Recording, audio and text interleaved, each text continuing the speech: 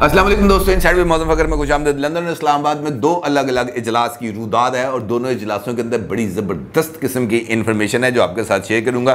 London کے اجلاس میں جناب نواز شریف صاحب نے ملکی صورتحال کے حوالے سے کچھ امپورٹنٹ ڈیسیجنز کیے ہیں اور خاص طور پر اپنے وزیر خزانہ جناب مفتاح اسماعیل صاحب کی کارکردگی کے اوپر انہوں نے بہت ہی زیادہ تعریفیں کی ہیں انورٹڈ کامرز میں اور بہت زیادہ انہوں نے ان کی ستائش کی ہے انورٹڈ کامرز میں، لیکن اس کے ساتھ ساتھ انہوں نے اس بات کی بھی ہدایت کی ہے مفتہ اسماعیل صاحب کو کہ جناب یہ جو ہمارے حکومتی تحدی جماعتیں ہیں، ان کے سربراہ ہیں، ان کے ساتھ بیٹھیں اور ان کو حقیقی معاشی صورتحال پر آگاہ کریں کہ جناب حقیقت کے اندر اس وقت وہ کون سے پھنی اسدہے ہیں جو ہماری معیشت کے راستے میں رکاوٹ ہے نہ صرف یہ ان کو بتائیں بلکہ ان کو یہ والی حقیقت بھی بتائیں۔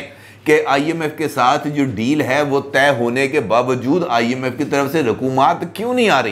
یہ بھی بتائیں انہیں۔ انہوں نے بتائیں کہ اس سارے صورتحال کے اندر وہ کون سی قوتیں ہیں جو رکاوٹیں پیدا کر رہی ہیں اور ان رکاوٹوں کا آپ کے پاس علاج کیا ہے تاکہ مستقبل کے سیاسی فیصلے کرنے میں آسانی پیدا ہو۔ نواز شریف صاحب کی زیر صدارت اجلاس کے اندر جو فیصلے ہیں وہ بہت ہی زیادہ امپورٹنس ہیں کہ حامل ہیں اور خاص طور پر اس اجلاس کے بعد، جس وقت نواز شریف صاحب یوں سیڑھیاں اتر رہے تھے نیچے، اس وقت ان کی ہوئی ہے کچھ صحافیوں کے ساتھ گفتگو۔ اور اس گفتگو کا جو جواب دیا گیا ہے نواز شریف صاحب کی طرف سے، وہ بھی کسی سمت میں اشارہ کر رہا ہے۔ اور چونکہ سوال ہوا تھا الیکشنز کے حوالے سے، اور ان اس الیکشنز کے حوالے سے نواز شریف صاحب کا جواب اس بات کا تعین کر رہا ہے، سمت بتا رہا ہے کہ جناب اس وقت حکمران اتحاد کی سمت کیا ہے؟ نواز شریف صاحب کی زیر صدارت لندن میں ہونے والے اجلاس میں کون سے امپورٹنٹ ڈیسیجنس کیے گئے؟ کس کس معاملے پر غور کیا گیا؟ اور نواز شریف صاحب کی طرف سے صحافیوں کے سوالات کے جواب جو دیا گیا اس جواب کی جو معنی خیزی ہے وہ کیا ہے اور ان کا جواب کس سمت میں اشارہ کر رہا ہے، اس ساری صورتحال پر آپ کے ساتھ بات کروں گا، لیکن اس سے پہلے بات کروں گا بنی گالا اسلام آباد میں ہونے والے اجلاس کی جو پی ٹی آئی کا تھا، جس کی صدارت کی عمران خان صاحب نے، اور اس اجلاس کا بنیادی مقصد اور کچھ نہیں تھا۔ ماں سوائے اس کے کہ فورن فنڈنگ کیس کے فیصلے کو رکوانے کے لیے یا اس فیصلے میں تخیری حربے استعمال کرنے کے لیے۔ اور چیف الیکشن کمیشنر جناب سکندر سلطان راجہ صاحب پر دباؤ میں اضافے کے لیے کون سے ٹیکٹس استعمال کیے جائیں؟ اور ان ٹیکٹس کے لیے کے ذریعے کس کس طریقے سے اس اہم آئینی ادارے کو ملائن کیا جائے اور کون کون سے الزامات ہیں جن پر مبنی چارج شیٹ جاری کی جائے؟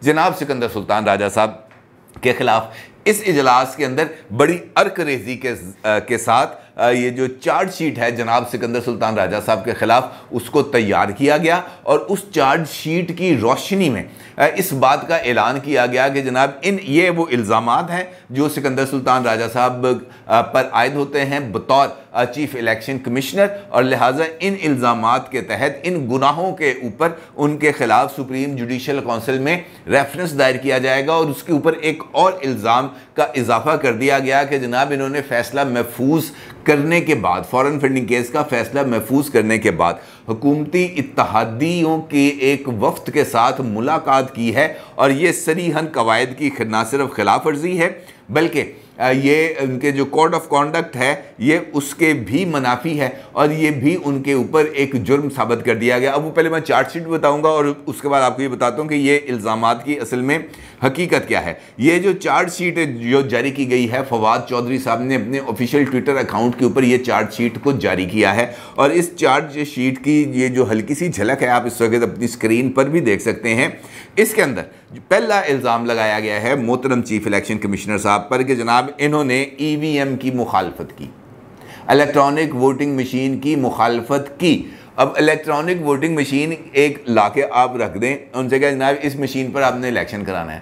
تو بندہ وہ کیسے الیکشن کرایا جائے گا؟ جبکہ الیکشن کمیشن آف پاکستان کے اپنے جو قواعد و ضوابط ہیں، جو بھی چیز آپ نے ٹیکنالوجی کو استعمال کرنا ہے، تو وہ اس قواعد و ضوابط کے مطابق ہوگی۔ الیکشن کمیشن نے تقریباً چونسٹھ صفحات پر مشتمل ایک مکمل ڈوسیئر بھیجا تھا حکومت کو، جس کے اندر انہوں نے اس الیکٹرانک ووٹنگ مشین کے حوالے سے مکمل طور پر تفصیلات مانگی تھی اور ان سے، ان کو یہ کہا گیا تھا کہ جناب، آپ کو یہ تفصیلات پہنچا دی جائیں گی، لیکن ابھی تک وہ تفصیلات نہیں پہنچائے گی۔ دوسرا ای وی ایم کے لیے اگر استعمال اس کو کرنا تھا تو اس کے لیے قانون سازی ہونا ضروری تھی اور قانون سازی عمران خان صاحب نے کی ہے جا کے جنوری میں۔ اب اگر جنوری میں قانون سازی کی گئی ہے تو اس کا مطلب یہ ہے کہ اس سال یا اگلے سال ہونے والے انتخابات کے اندر یہ الیکٹرانک ووٹنگ مشینز استعمال نہیں ہو سکتی تھیں کیونکہ نہ مشینیں تیار ہوئیں، نہ اس کا کوئی پائلٹ پروجیکٹ ہوا، نہ کسی جگہ کے اوپر اس کو رکھنے کے لیے کوئی ویئر ہاؤس بنے، نہ ہی جو عملہ ہے، اس کی ٹریننگ کی گئی تو مشینوں نے کیسے اس پر اس پر استعمال ہونا تھا؟ لیکن یہ بھی ان کے اوپر چارج شیٹ لگا دی گئی۔ دوسرا الزام لگایا گیا ہے اوورسیز ووٹنگ کی مخالفت۔ اب یہ بھی ایک ٹرکی سا کویسچن ہے، کیونکہ عمران خان صاحب یہ سمجھتے ہیں کہ یہ اوورسیز ان کے ووٹ بینک ہیں۔ اسی نوے لاکھ ووٹ انہوں نے لے لینے ہیں، سوا کروڑ اوورسیز وہاں پہ موجود ہیں۔ لہٰذا وہ یہ چاہتے ہیں کہ یہ اوورسیز کا ووٹ ان کے ساتھ انٹیکٹ رہے۔ اب الیکشن کمیشن کیا کہتا ہے؟ پہلے تو یہ ہے کہ عمران خان صاحب نے اس کے لیے جو طریقہ اڈاپٹ کیا، جس کے لیے انہوں نے قانون سازی کی کہ جناب انٹرنیٹ کے ذریعے یہ تمام لوگ ووٹ کاسٹ کریں گے اور جس جس کانسیکوینسی کے اندر ان کے شناختی کارڈ بنے ہوئے ہیں، جہاں جہاں کی یہ رہائشی ہیں، اس اس کانسیکوینسی کے اندر یہ ووٹ دیں گے۔ اچھا الیکشن کمیشن کیا کہتا تھا؟ الیکشن کمیشن یہ کہتا تھا کہ جناب آپ نے یہ کر دیا، ٹھیک ہے، ہمیں کوئی اعتراض نہیں، آپ نے، کیونکہ یہ حکومت کا فیصلہ ہے۔ ہمارا مسئلہ یہ ہے کہ اس وقت پاکستان کے اندر وہ انٹرنیٹ کی جو سائبر سیکیورٹی ہے، اس کے لیے کوئی اتنا بڑا ہمارے پاس نظام نہیں ہے کہ ہم یہ جو انٹرنیٹ ووٹنگ ہو رہی ہوگی، ہم اس کے اوپر کسی بھی قسم کی مداخلت یا اس سسٹم کو ہیک ہونے یا کسی بھی طریقے سے اس چیزوں کو رکوا سکیں۔ اور اگر ایسا کوئی سسٹم بن جائے تو اس کے بعد اس صورتحال کو دیکھا جا سکتا ہے، لیکن بغیر کسی سائبر سیکیورٹی کے، بغیر کسی سائبر انفراسٹرکچر کے، اوورسیز پاکستانیوں کو ووٹنگ رائٹ انٹرنیٹ کے ذریعے نہیں دیا جا سکتا۔ ہاں اگر آپ نے ووٹر رائٹ دینا ہے تو ہم پولنگ سٹیشن بنا دیتے ہیں ہائی کمیشنز کے اندر، سفارت خانوں کے اندر، کونسل خانوں کے اندر۔ لوگ جس نے جانا ہے وہاں پہ جائے، ووٹ ڈالے اور واپس آ جائے۔ وہ سفارتی عملہ وہاں سے، وہ ان کو بیلٹ باکسز میں سے بیلٹس نکالے گا، ان کو سیل کرے گا ڈپلومیٹک بیگز کے اندر رکھے گا اور ادھر پاکستان پہ دے گا، جہاں پہ ہم ان کو گن کے، ان کو نتائج میں شامل کر لیں گے۔ عمران خان صاحب نے اس آپشن کو بھی مسترد کر دیا۔ اس کے بعد جناب سینٹ الیکشنز میں اوپن ووٹنگ کرانے سے انکار۔ سینٹ الیکشن میں یوسف رضا گلانی کے بیٹے پر پیسوں کی ویڈیو سے کاروائی سے انکار یوسف رضا گلانی کا نوٹیفیکیشن روکنے سے انکار یوسف رضا گلانی کے خلاف شواہد کے باوجود نااہل نہ کرنے کا فیصلہ سینٹر فیصل باؤڈا کی نااہلی۔ اب یہ جو یہ ہے، اب یہ تو اب سب کو پتہ ہے کہ جناب ایک بندے نے دو نمبری کی جھوٹ بولا، ریکارڈ چھپایا اور اس کے بعد بھی اگر ہم یہ کہیں کہ جناب آپ نے اس کو ناہل کر کے غلط کیا تو افسوس ہی ہے ویسے اس پر اور کچھ نہیں کہا جا سکتا۔ پی ٹی آئی کی طرح نون لیگ، پی پی پی ممنوع فنڈنگ کیس کی روزانہ کی بنیاد پر عدم سماعت۔ اب اصل مسئلہ ہے فورن فنڈنگ کیس۔ اچھا جی علی امین گنڈا پور کے خلاف کارروائی بھائی کی نااہلی۔ کے پی کے وزیر ٹرانسپورٹ شاہ محمد کی نااہلی۔ این اے پچہتر ڈسکا ضمنی الیکشن کے ری پول آرڈر۔ ضمنی الیکشن میں پولنگ ایجنٹس دوسرے حلقوں سے لانے پر پابندی۔ پی پی سیون میں ری کاؤنٹ نہ دینے کا فیصلہ۔ وقت ہونے کے باوجود حلقہ بندیاں کرنے میں ناکامی، جس سے قبل از وقت الیکشن نہ ہو سکے۔ ضمنی الیکشن میں پری پرو دھاندلی پر خاموشی۔ M M P A Faisal Niazi کے استعفے کی عدم منظوری۔ پنجاب میں صوبائی اسمبلی کی پانچ مخصوص نشستوں کا نوٹیفیکیشن نہ جاری کرنا۔ منحرف ارکان قومی اسمبلی ریفرنسز کا مسترد کرنا۔ فواد چودھری، اعظم سواتی کو توہین عدالت کے نوٹسز یہ وہ نوٹس ہیں جس پر انہوں نے خود بھی معافی مانگ لی ہوئی ہے۔ یہ وہ چارج شیٹ ہے جناب جو پاکستان تحریک انصاف نے نہایت ارک ریزی کے ساتھ تیار کی ہے۔ اور اس کے تحت اب وہ چارج شیٹ کرنا چاہتے ہیں جناب الیکشن کمیشنر سکندر سلطان راجہ صاحب کو۔ ان کے خلاف ریفرنس بھیجنا چاہتے ہیں سپریم جوڈیشل کونسل میں۔ اور یہ استدا کی جائے گی کہ جناب ان کو ان کو کام کرنے سے روکا جائے تاکہ وہ جو فورن فنڈنگ کیس کا فیصلہ انہوں نے جاری کرنا ہے جو انہوں نے محفوظ کیا ہوا ہے، پتہ نہیں کب تک، ابھی تک تو اس کی تاریخ نہیں آئی کہ کب انہوں نے جاری کرنا ہے، لیکن یہ کہا جائے گا کہ جناب اس کو روکا جائے۔ اب اس کے لیے ان کا یہ کہنا ہے کہ ہم نے یہ جو قانونی ماہرین ہیں، ان کے ساتھ مشاورت کر کے یہ ریفرنس ہم جلد فائل کر دیں گے۔ بنیادی طور پر مسئلہ کیا ہے؟ مسئلہ میں نے آپ کو بتایا سمپل یہ ہے کہ اب جس طرح کے ایویڈنسز سامنے آ رہے ہیں فائنینشیل ٹائمز کی رپورٹ آ رہی ہے، کتاب لکھی جا چکی ہے، امریکہ کے اندر تحقیقات ہو رہی ہیں، جہاں پر یہ تمام نیکسس جو ہے فارن فنڈنگ کا، یہ سامنے آئے گا۔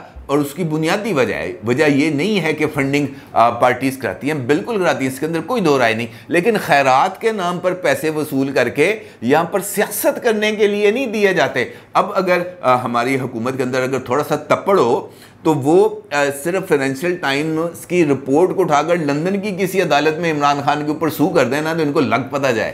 کہ جناب، یہاں پر آپ نے ٹیکس پیئر کا پیسہ لیا، خیرات کے نام پر، اور وہاں پر جا کر پولیٹیکل ایکٹیویٹیز میں استعمال کیا۔ تو بلائیں عمران خان کو کہ اس نے یہ سارا کچھ کیوں کیا؟ تو دیکھیں کیسے وہ عارف نقوی صاحب کے اوپر سے بھی جو جس طرح انہوں نے کہا، تھوڑی سی منی لانڈرنگ کیا کیا فرق پڑتا ہے؟ تو دیکھیے گا کہ کیسے وہ اپنی جو صورتحال ہے، اس سے یوں یو ٹرن ماریں گے اور بالکل صاف ستھرے ہو کے نکلنے کی کوشش کریں گے، لیکن چونکہ یہ ان کا بنیادی طریقہ کار ایسا ہے، وہ اس سے آگے بڑھ نہیں سکتے۔ اور یہی وجہ ہے کہ اس وقت کے حالات ہمارے زیادہ خراب ہیں۔ دوسری جانب، مسلم لیگ نون کا اجلاس۔ مسلم لیگ نون کا اجلاس کے اندر بنیادی طور پر مسئلہ ہے معیشت کا۔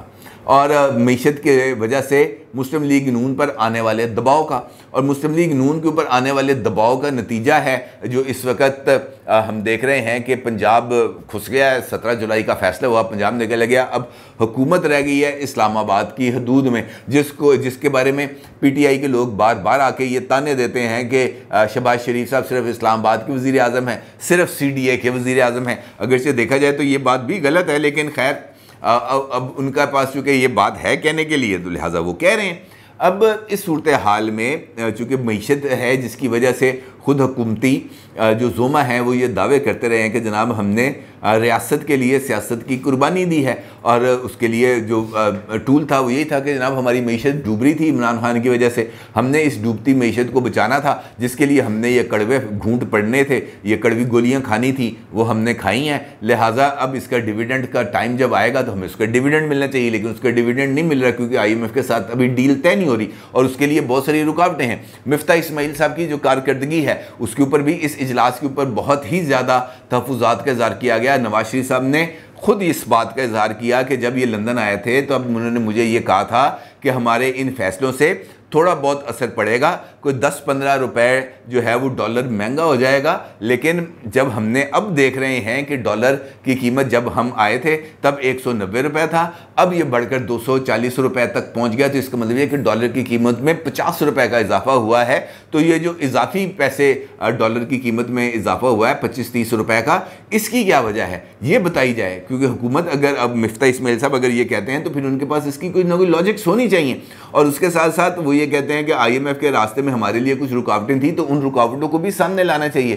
ان رکاوٹوں کے بارے میں بھی آگاہ کرنا چاہیے کہ جناب وہ کون کون سی رکاوٹیں ہیں تاکہ حکومتی اتحادی جماعتوں کے ساتھ جب بیٹھ کر فیصلہ کن گفتگو ہو رہی ہوگی، تب ان کے سامنے ایک پکچر کلیئر ہوگی تاکہ اس کے بعد کوئی فیصلہ لیا جا سکے۔ اور آج کے اجلاس میں اس بات کا کچھ اشارے مل رہے تھے کہ مسلم لیگ نون اور نواز شریف صاحب کچھ سنجیدگی کے ساتھ کچھ فیصلے لینے کے بارے میں سوچ رہے ہیں اور اسی لیے انہوں نے مفتہ اسمیل صاحب سے بات کی۔ اور دلچسپ بات یہ ہے کہ جس وقت نواز شریف صاحب نے اس اجلاس کو ختم کیا، یوں سیڑھیاں اترتے ہوئے نیچے آ رہے تھے، تو وہاں پر آپ کو پتہ ہے کہ جرنلسٹ موجود ہوتے ہیں۔ کسی جرنلسٹ نے ان سے پوچھا کہ جناب یہ جو الیکشنز ہونے جا رہے ہیں، اس کے بارے میں آپ کا کیا خیال ہے؟ کس کس کو ٹکٹ دیں گے؟ نواز شریف صاحب نے پہلے تو سوال کو اگنور کیا، خاموشی سے آگے بڑھے، پھر رکے، پھر مڑے اور انہوں نے اس کا جواب دیا، آپ کو ٹکٹ چاہیے۔ اب دیکھنے میں تو یہ بہت ایک سمپل سا جواب ہے کہ اس کے بعد انہوں نے یہ جواب دیا، گاڑی میں بیٹھے اور چلے گئے۔ لیکن اس کے اندر اس بات کے بارے میں واضح اشارے مل رہے ہیں کہ نواز شریف صاحب اس وقت اس صورتحال سے کس حد تک خفا ہیں۔ ورنہ وہ یہ کہتے ہیں کہ الیکشن ہے، لڑیں گے، بھرپور طاقت سے لڑیں گے اور اس مرتبہ غلطیاں نہیں دہرائیں گے اور پی ٹی آئی کو اڑا کے رکھ دیں گے۔ انہوں نے یہ نہیں کہا۔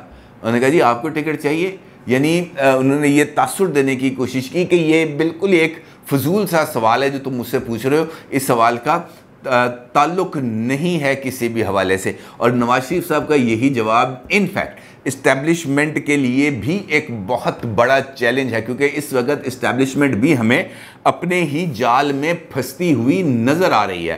کیونکہ اگر اسٹیبلشمنٹ اپنے جال میں نہ پھنسی ہوتی نواز شریف کہتے ہیں کہ بھائی کون سے الیکشن؟ الیکشن ہوں گے ٹوئنٹی ٹوئنٹی تھری میں، جب الیکشن ہوں گے تب دیکھیں گے اور ہمارے پاس امیدواروں کی کمی نہیں ہے، امیدواروں کی لائن لگی ہوئی ہے۔ اور فکر نہ کریں الیکشنز بھی ہوں گے اور الیکشنز بھی جیتیں گے۔ بھی انہوں نے کہا، نہیں، آپ کو ٹکٹ چاہیے۔ یہ جواب اشارہ دے رہا ہے کہ نواز شریف صاحب نے اسٹیبلشمنٹ کے ساتھ بھی اب کھلی جنگ لڑنے کے بارے میں کچھ نہ کچھ اپنے ذہن کے اندر کر لیا اور جس بات کا اشارہ دیا تھا جوید لطیف صاحب نے کہ نواز شریف صاحب اب بولنے پر تیار ہیں۔ اور وہ بہت بولیں گے اور سب کچھ بولیں گے اور سارا سچ بولیں گے تو اس کا مطلب یہ ہے کہ اب اس سمت میں کسی نہ کسی طرف پیش رفت ہو رہی ہے اور یہی پیش رفت اسٹیبلشمنٹ کے لیے گلے کی ہڈی ہے۔ کیونکہ اسٹیبلشمنٹ نے بہت ہی سوچ سمجھ کے ایک ہائیبریڈ نظام کو تشکیل دیا تھا۔ انہوں نے یہ سوچا تھا کہ یہ جو روایتی سیاسی نظام ہے، اس کو ہم طے کر کے رکھ دیں گے۔ نواز شریف بھی ایلیمنیٹ ہو جائے گا، آصف زرداری بھی ایلیمنیٹ ہو جائے گا ام الولی خان ولی خان بھی جو ہیں اسفندیار ولی بھی ایلیمنیٹ ہو جائیں گے۔ اختر مینگل بھی، فضل الرحمان بھی، یہ سارا کچھ ایک سائڈ پہ نکل جائیں گے۔ ہمارا ہائیبریڈ نظام رہے گا اور عمران خان صاحب حکومت کرتے چلے جائیں گے۔ اور اسی لیے انہوں نے ساڑھے تین سال عمران خان صاحب کو بھرپور طریقے سے سپورٹ بھی کیا، مکمل طور پر اپنی جو سپورٹ تھی ان کو ایکسٹینڈ کی۔ آرمی چیف صاحب نے ابھی بھی فون کیا ہی ہے نا، لیکن اس وقت عمران خان صاحب کے ٹینیور میں یو اے ای سے پیسے لے کے آئے سعودی عربیہ سے پیسے لے کے آئے چائنا سے پیسے لے کے آئے۔ اس میں تو کوئی دو رائے نہیں ہے۔ لیکن وہاں پر اس وقت تو کسی نے اعتراض نہیں کیا، جس طرح عمران خان نے ان پر اعتراض کیا۔ اب اس نظام کا جو پہلو تھا وہ یہی تھا کہ حقیقی پولیٹیکل قوتوں کو سائٹ پہ کر دیا جائے گا اور عمران خان کے ساتھ مل کر حکومت چلائی جائے گی اور عمران خان ان کے پپٹ کے طور پر کام کرتا رہیں گے۔ لیکن یہاں پر بھی ان کو ناکامی انہوں نے دیکھا کہ یار نہیں، حقیقی پولیٹیکل قوتوں کے بغیر نظام نہیں چل پائے گا کیونکہ عمران خان صاحب نے جس طریقے سے ملک کو عثمان بزداروں کے ذریعے چلانے کی کوشش کی ہے فرا گوگیوں کے ذریعے چلانے کی کوشش کی ہے، اس طریقے سے یہ سسٹم پورے کا پورا کلیپس کر جائے گا، خلیج بڑھ جائے گی۔ اور اس کے بعد انہوں نے ریئل پولیٹیکل قوتوں سے دوبارہ رابطہ کیا ہے، لیکن یہاں پر بھی جو گڑبڑ تھی وہ موجود تھی۔ اس کے اندر بھی کسی اسٹیبلشمنٹ کے اندر، جس طرح میں نے آج سے پچھلی ویڈیو میں ذکر کیا کہ وہاں پر بھی دو کرنٹس ہیں، دو ایک تقسیم موجود ہے۔ اور ایک ہے ابھی بھی ایک ایسا گروپ موجود ہے جو یہ سمجھتا ہے کہ نہیں یار عمران خان ہی ہمارے تمام دکھ درد کا مداوع ہے، عمران خان صاحب سے ہی ہم یہ جو ملک کی ڈوبتی کشتی ہے، اس کو ہم کنارے پہ لگا سکتے ہیں۔ باقی پولیٹیکل قوتیں تمام کی تمام آپسلیٹ ہیں۔ جبکہ دوسرا گروپ یہ سمجھا ہے کہ نہیں، ہمیں اس وقت جو سیریس تھریٹس ہیں، ان سیریس تھریٹس کی موجودگی کے لیے، اس کو ایڈریس کرنے کے لیے سیزنڈ پولیٹیشنز کی ٹیم ہونا ضروری ہے اور یہ کانفلکٹ ہمیں نظر آ رہا ہے۔ اب اس کانفلکٹ کے اندر جو ایک گروپ ہے، وہ یہ کہتا ہے کہ جناب یہ عمران خان کو ہم دوبارہ نلا دلا کے ڈرائی کلین کر کے اقتدار میں لے آئیں گے اور پھر ان کو مکمل طور پر سپورٹ ملتی ہے سپورٹ ملتی ہوئی نظر بھی آتی ہے۔ دوسرا گروپ چاہتے ہوئے بھی میرا خیال ہے کہ شاید وہ اس طرح کھل کے آ کے وہ جو ہے مزامت نہیں کر پاتا۔ اور اس کی وجہ سے یہ جو ایک، یہ جو جسے ہم کہہ سکتے ہیں، تقسیم اختیارات کی، وہ بہت ہی حد تک کمپلیکسڈ ہو گئی ہے۔ جو جو سوچ رہی تھی اسٹیبلشمنٹ وہ اسٹیبلشمنٹ ان نتائج تک ابھی تک نہیں پہنچ پا رہی۔ کیونکہ اگر الیکشن کراتے ہیں اگر موجودہ حکومت کو کہتے ہیں کہ جناب تم گھر جاؤ نگران حکومت آئے گی، تو ملک تو ویسے ہی اس وقت تباہی کے دہانے پہ کھڑا ہے۔ وہ اور تباہ ہو جائے گا کیونکہ تقسیم پولیٹیکل ڈویژن اس حد تک گہری ہو چکی ہے کہ اس کو روکا نہیں جا سکتا۔ اور اگر یہ کہتے ہیں کہ جناب الیکشن نہیں کرانے، تو عمران خان صاحب اب مختلف لوگوں کے اشیرباد کے ذریعے وہ جو اپنی ان کی سٹریٹ پار ہے، اس کو اس حد تک لا سکتے ہیں، جہاں پر ایک مرتبہ پھر ملک کا نقصان ہوگا۔ تو یہ ایک ایسی صورتحال ہے جہاں پر آ کر اسٹیبلشمنٹ پھنس گئی ہے اپنے ہی جال میں۔ وہ جال جو وہ عمومی طور پر مختلف پولیٹیکل لیڈرز کے لیے پھیلایا کرتے تھے، اس مرتبہ اس جال میں وہ خود اس وقت دھستے ہوئے نظر آ رہے ہیں اور کچھ سمجھ نہیں آ رہی کہ اب آگے کیسے بڑھنا ہے۔ اور اگر آپ غور کریں تو یہ سچویشن ایسی ہی ہے جہاں سے باہر نکلنے کا راستہ نظر نہیں آ رہا۔ اور اگر باہر نکلنا ہے تو میرا خیال ہے کہ صرف ایک راستہ، صرف ایک راستہ، آئین اور قانون پر عمل رہا۔ اس کے علاوہ اور کوئی راستہ نہیں ہے۔ ہر ایک ادارے کی ڈومین ہے، اس ڈومین میں رہے۔ جو ڈیکوٹمی آف پار ہے، اس کے اوپر مکمل طور پر جو وہ جو ہے، انحصار کیا جائے۔ اور جو ریٹ آف دی گورنمنٹ ہے، اس کو بھی اسٹیبلش کیا جائے۔ ریٹ آف دی اسٹیٹ کو بھی اسٹیبلش کیا جائے۔ اور rate of the head of the establishment کو بھی اسٹیبلش کیا جائے، کیونکہ اس کے علاوہ اب کوئی اور راستہ نہیں ہے۔ کیونکہ جب تک آپ ایک وہ گروپ جو راستے میں رکاوٹ بن رہا ہے، ادھر وے میں، اس طرف یا اس طرف، نواز شریف صاحب کے حق میں یا نواز شریف صاحب کے خلاف، عمران خان صاحب کے حق میں یا نواز شریف صاحب کے خلاف، فیصلہ کر کے اس کے بعد پیچھے ہٹ جائیں۔ ادروائز یہ جو معاملہ ہے، یہ خراب ہوتا چلا جائے گا اور پھر اس میس سے باہر نکلنے کا کوئی راستہ جلدی کہیں نظر نہیں آئے گا۔ اپنی رائے کا ضرور اظہار کیجیے گا۔ آپ کا بہت شکریہ۔ اللہ حافظ۔